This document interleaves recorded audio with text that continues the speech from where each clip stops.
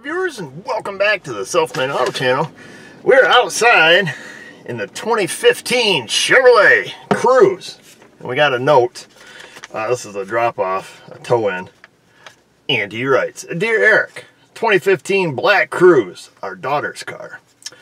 We've had it back to Simmons Rockwell, so that's our local Chevrolet dealer, a few times for a loud cooling fan. He said it is normal. Today, 1026, car overheated.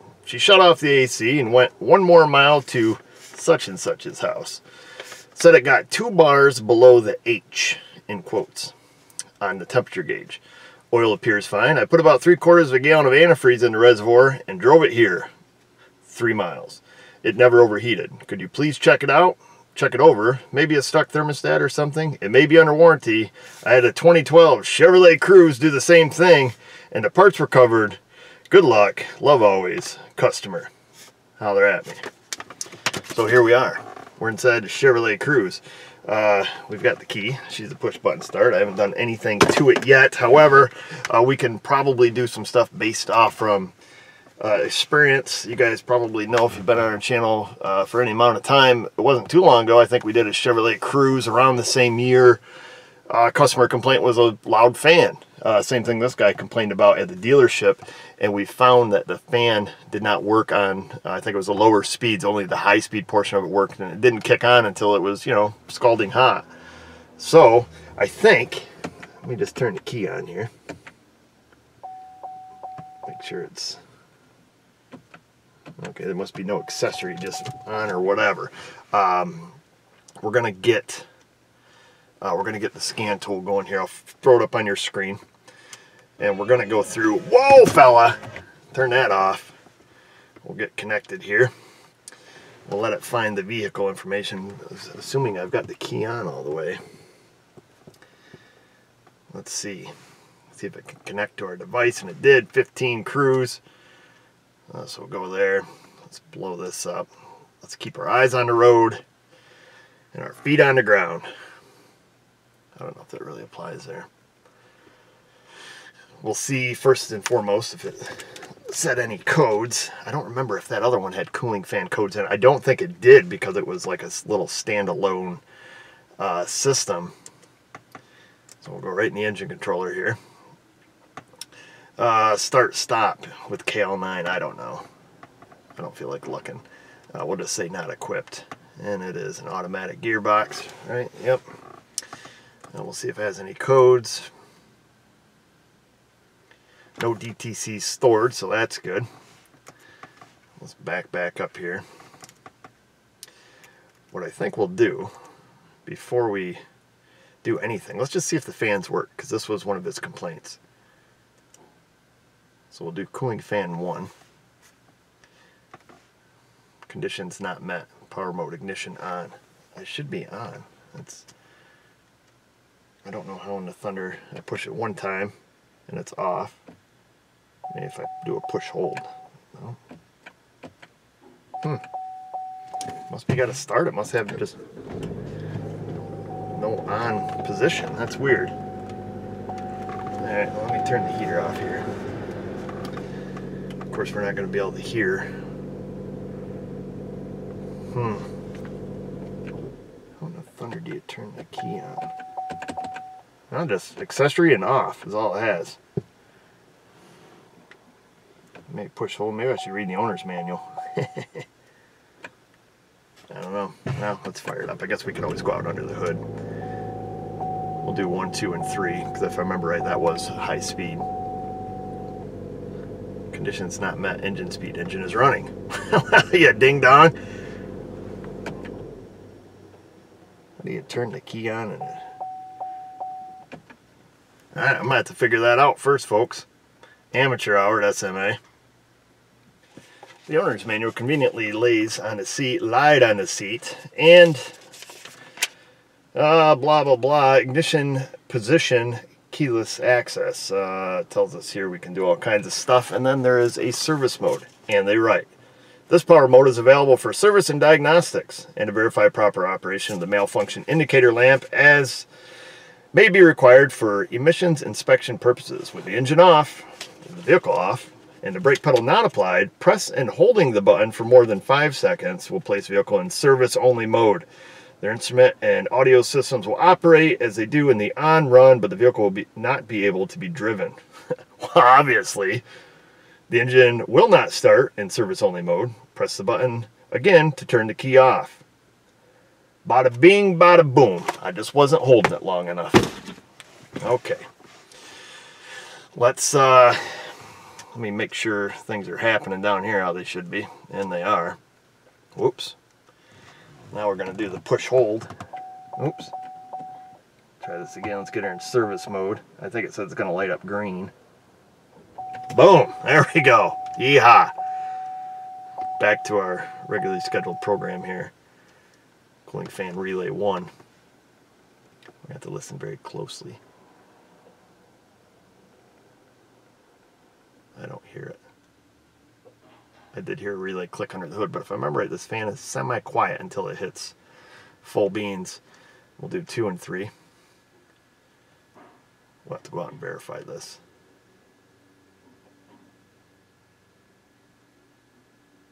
I heard some clicky under the hood, but I don't hear anything running. Okay. Then we'll go back to one, two, and three. Because if you guys remember in that previous video I did, there was a uh, big uh, resistor pack on that cooling fan. Here's one, two, and three. There she is, full steam. I can hear it out there. Alright, so that is probably his complaint on the cooling fan. Why it overheated is yet to be determined. Uh, let's, just for grins and giggles, let's pop out here. We will go back to two and three. I will take and turn it on. So that is commanded on currently. As you can see, we're gonna pop in the hood. I'm gonna have a looky, see if the fan's spinning.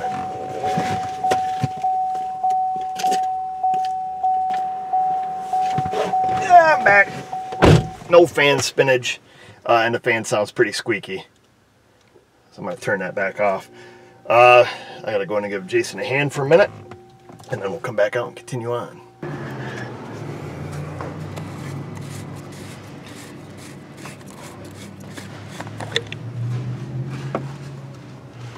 Antifreeze in our wire looks kind of light. So it is full. And I don't know if she got it hot enough to, to boil over. Because I do see evidence, you know, what looks like staining back there. And I don't know where that jug blows out when it does overflow.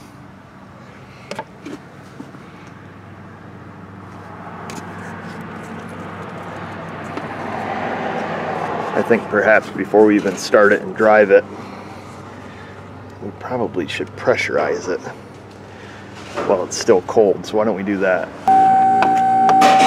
78 585 Astro Super Pressurizer Kit. You get to play musical caps as you look for the right cap. It's always the last one you grab is one that fits, or so it seems. We're going to see if we can nab this one on the first go round. I should label them and or read the directions that tell you clearly which one goes where. Not that one. I think it's that one like I said, it's always the last one. That is not the right one because we're just blowing right out the back. Son of a ho-ho.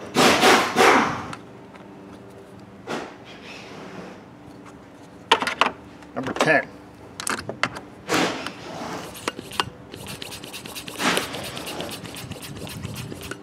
Wait, we got it.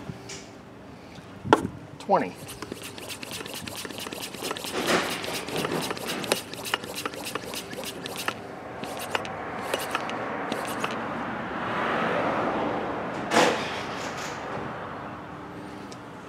and we wait. She's holding steady.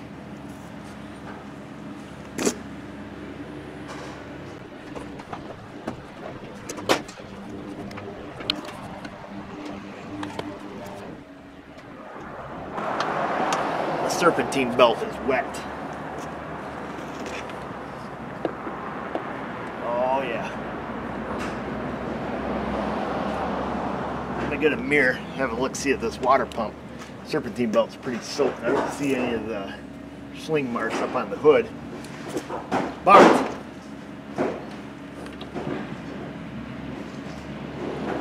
it's pretty wet.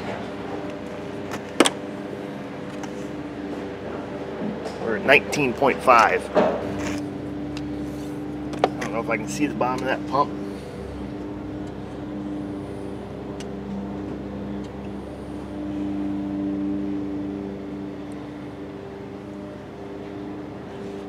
Kind of. See any wetness on it. I did do a thermostat on one of these the other day. It was pissing right out of the uh, thermostat housing here. This one does not appear to be doing so at the moment. Of course, it could. We could thermal cycle it here, get it, get it toasty. Let me just wiggle this a little. Of course, it's got 20 pounds of pressure on it. He's wiggling too much.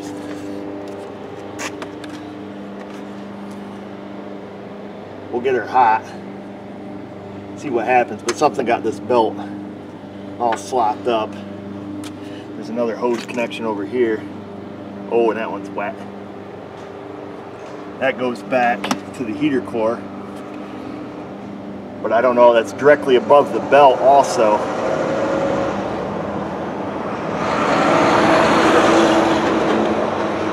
So I don't know if that one is wet because, you know, sling off from the belt but you know, that's got some gobbledygook under it.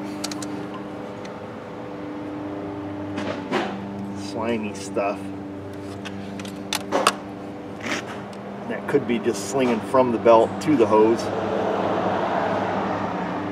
That's interesting. What else is over here can leak? Just a thermostat, water pump,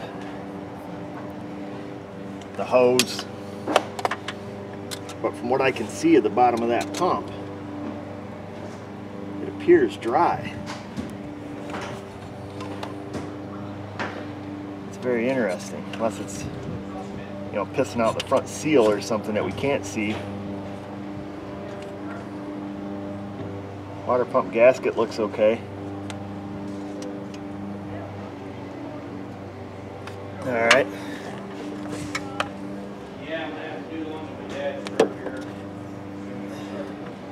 what I can see of the radiator, it looks pretty good. Well, let's depressurize it, heat it up. Let's see, we're still at 19.5, so that's where she settled at. Like I say, usually cars, if they leak, they leak cold, not hot. Well, I wanted to check it first. So let that down. Now that we know it's cap number 10 course, we won't ever remember that in the future. We'll play musical caps.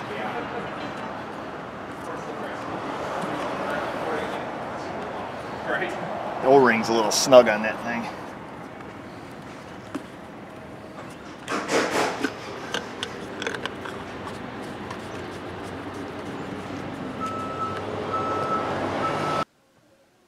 And here we go. Some time has passed, perhaps as you can see it is now 3.30 in the afternoon. That's how my days go, folks. Jason asked me to come cut off one stud for him early this morning, and next thing you know, we got both manifolds off and all the broken bolts drilled out and whatnot. Uh, so we're going to take it for a shake. Uh, up on the screen, I've got coolant temp, as you can see up here, uh, desired, and then of course our fan command. And I was just looking through the AC disengage history. And I see it's been disengaged because of vehicle launch acceleration, wide open throttle. eh, sometimes your cars tell on you, people. That's okay. She might have been smashing down the throttle, pulling out into traffic, or passing somebody. Either way.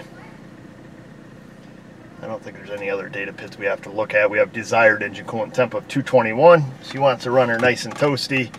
And then, of course, we have our fan commands and whatnot. So we'll take her for a rip like this. Let me uh, move the scan tool here. Of course, it doesn't move on your screen, which is kind of a nice feature. And then let me double check that the uh, screen recording software is on before I make a hoo-hoo out of myself. And it's blinking, so that means it is.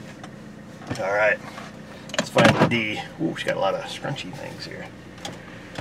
Put the uh, GDS up there on the dash so it don't fall down. Now I'll stick it on the floor because it's going to fall down. It's inevitable. All right, let's go roll some coal.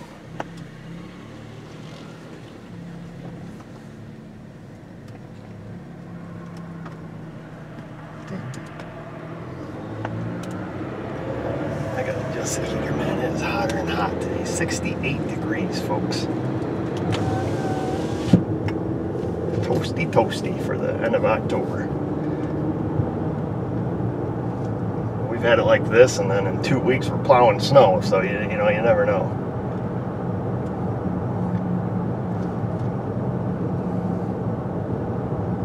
I'm curious to know if this young lady was parked somewheres, you know, and it started overheating then, or if she just cruising down the road. I wouldn't think the fans would really matter cruising down the road. Like I mentioned, we did see some wet goo along the right side of the engine there, so we shall see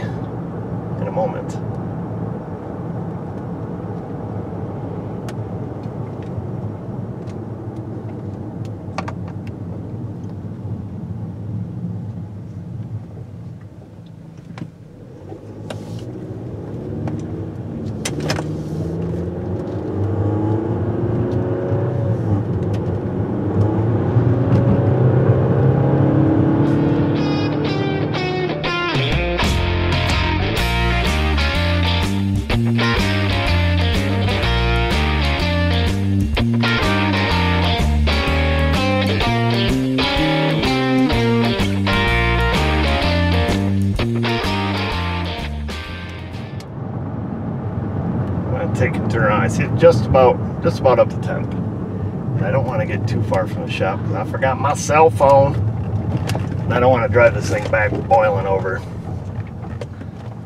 So we'll wait for the traffic here. We'll head back this direction.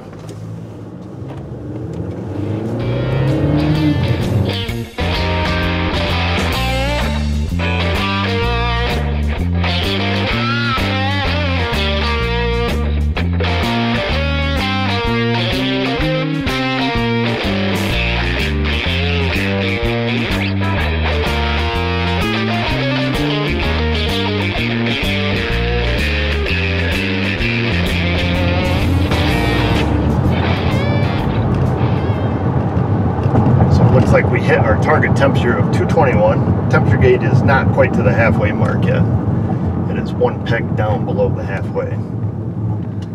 We're at 223 right there, right? 225, she's climbing. We gotta wait for this big Ford. Turn right behind them. Just like the police. Where we at now? Two and a quarter.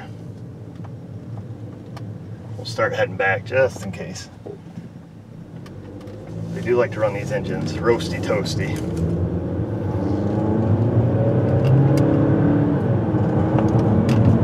Oh.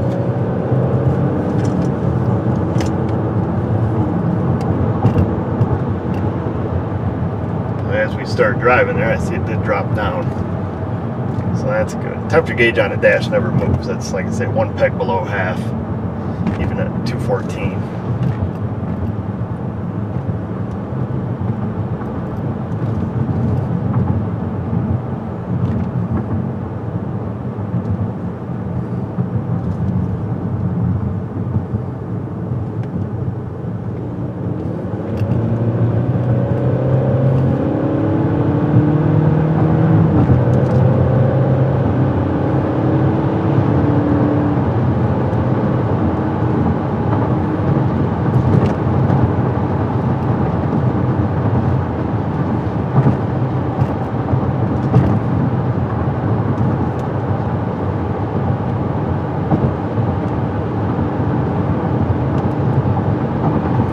Interesting seeing it get up there to 228 or so.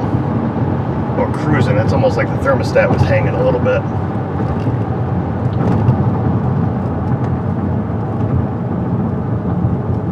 We'll head back to the shop. You can definitely tell when the thermostat event happens there. It definitely happens high. Alright, we'll do one more hot lap here. Because I got up to almost 230 before that thermostat opened, it looked like.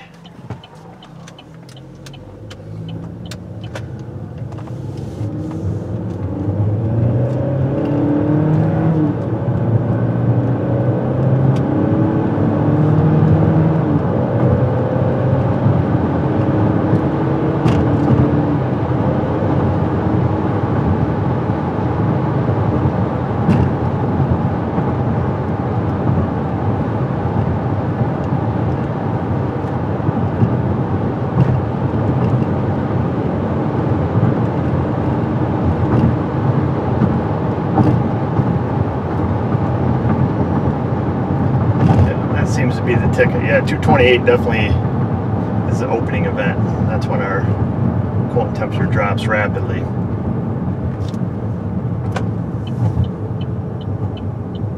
It must not be too hot because it never commanded the fan on.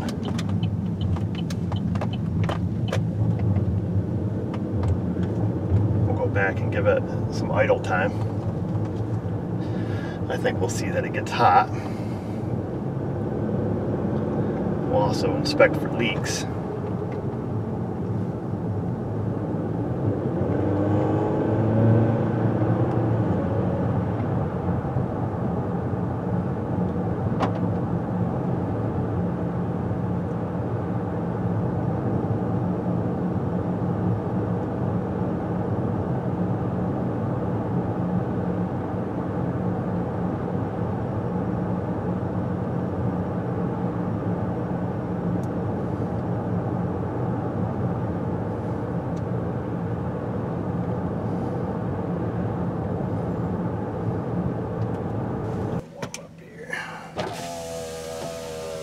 What's up?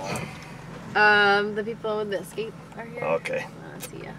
All right, folks, we'll pick up on this uno momento because uh, I gotta go talk to somebody. But now we know something. Wow, I'm dark. this car's never gonna get finished, like ever. time is it? it's 4:20. Time to take a break. All right, we're gonna fire this up. Everything's back on the screen. The fella has gone. The window is up open and close the driver's side window. Must be it needs the uh, rehoming done.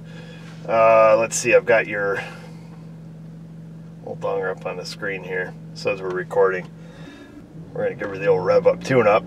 Let it warm up. I haven't. Yeah, I've yet to look under the hood. Get engine RPM here. Let's see. Yep, there it is. Let me lock that so you guys can see what RPM we're at. What's up, dog? So what did you say about the burger? Like how it? I'm making a video right now, fella. Oh, right, I'll be in talk to you in a bit. yeah. Okay. All right. Go. I'm gonna try. I'm gonna try to get one car done by the end of the day. Both Josh and Jason have all had big jobs going on today. Been helping them and helping customers and whatnot.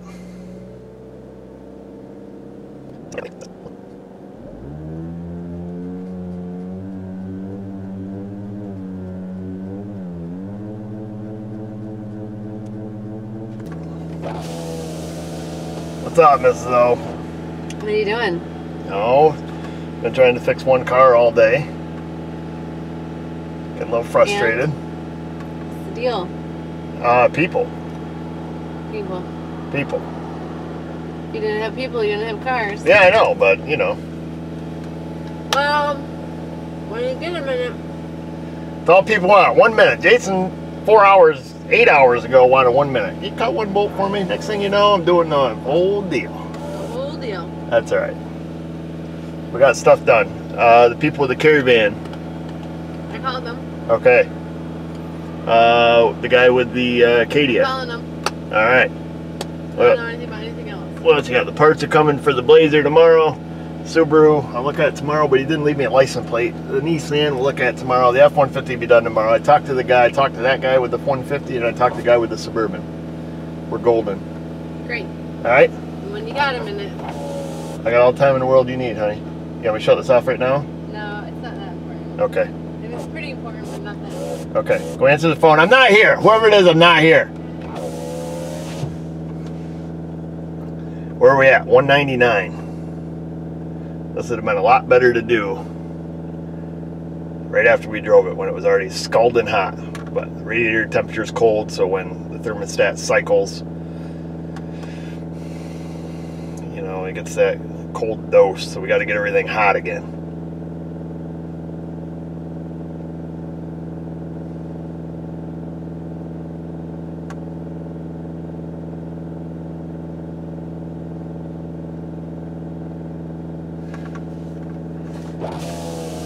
Friggin' serious, woman? It's this guy. It's this guy. You tell him I'll call him in yeah, by five o'clock. All right? Tell him not to worry.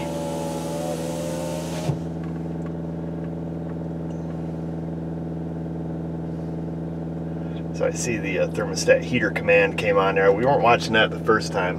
Of course, that's going to help open the thermostat. I see our radiator is starting to warm up there.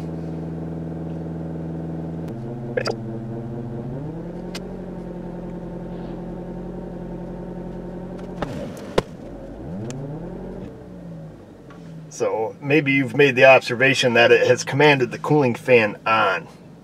And at this point, the cooling fan doesn't work. So it's commanding it on a low speed, excuse me, uh, which, you know, obviously isn't working. So our coolant temp is climbing still because the fan is junk. I assume at some point one, two, and three are going to turn on because we have high speed. And then we're going to watch it drop like a rock. I'm guessing.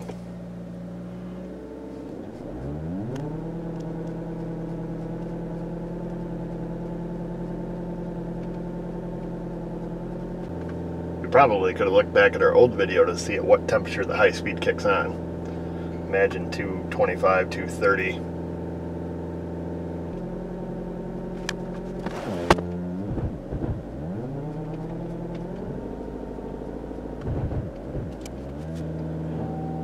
So now it's commanded on the medium speed. However, the medium speed does not work. I'll be just a minute. I've got that upper intake apart. Oh, okay. Should I be taking out the fuel spider before I clean anything? Nope, no, leave that spider right in. You start touching them, they'll all break. Okay, So yeah, if we can avoid breaking them, that'd be great. sure.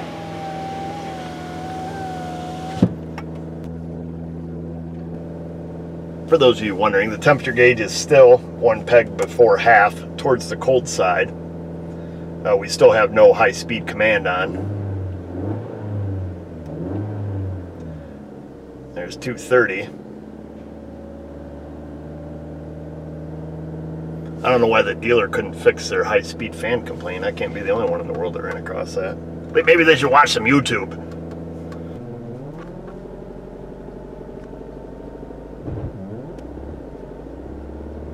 Maybe it just goes right to boiling over. What's up? This guy you told to call you I, back. I, I know, I, I promise him I will call him. Yeah. now you're telling me that you're Yeah. gonna call him? Yeah, yeah, tell him, tell him, just apologize for me. Tell him, there we go. Now we're on high speed cooling fan. Tell him I'm sorry. I will call him. Super busy. Uh, high speed cooling fan, we should watch. I can hear the fan out there just ripping under the hood.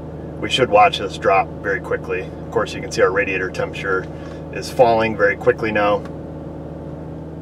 Yep, and it just shut off. So, um, but it still is commanding on at a medium speed. So the fan's broke. We know that. Uh, we know the car. It does not appear to be overheating now because it is full of coolant. So therefore, begs the question: Where did the coolant go? Now maybe that it's hot. We can go out under the hood and see. Everything else seems to work as designed, minus the fan, which should be on low right now, which isn't because it's broke. Okay, yeehaw. Okay, got my light. Oh, I see some water, I see some steam, and I see some wetness down there. Oh, baby. we got a wet one. Now we can get the old mirror. Hey, mirror. It's like that drunk guy. Turns into mirror guy. Hey, mirror. oh, you mirror.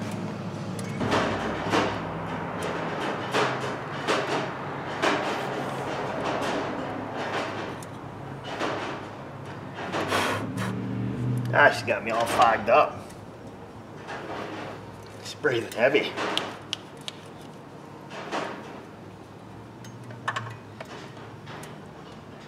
Oh yeah. It is coming death from above. Appears to be around the water pump. Perhaps the water pump gasket.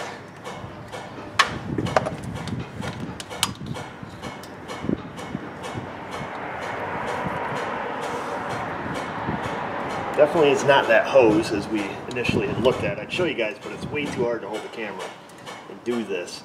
Um, Cause I can barely see myself.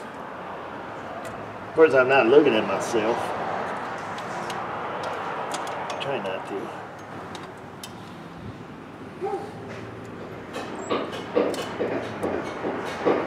Okay, there we go. I can see good now. I can see clearly now. Back of the water pump.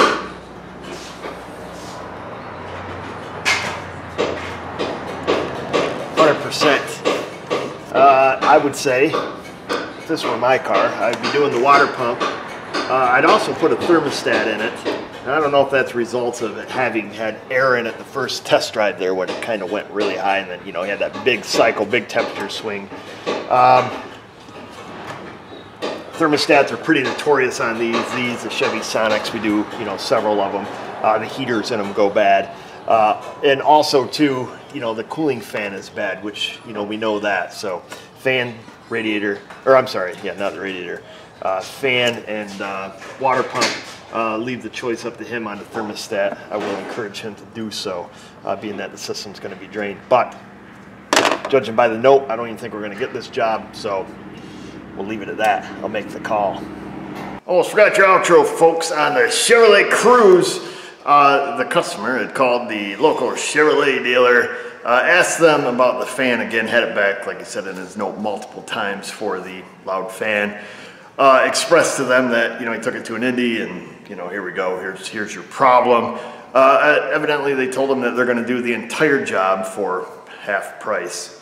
Uh, so we'll see how that goes. Uh, needless to say, I did not get the job on the car, so oh well, picking up, moving on, and we'll get to the next one. Why don't you guys move on down there to that comment box, ring that bell after you subscribe, leave a question, comment, criticism, or concern. And just remember, viewers, if I can do it, you can do it. Thanks for watching.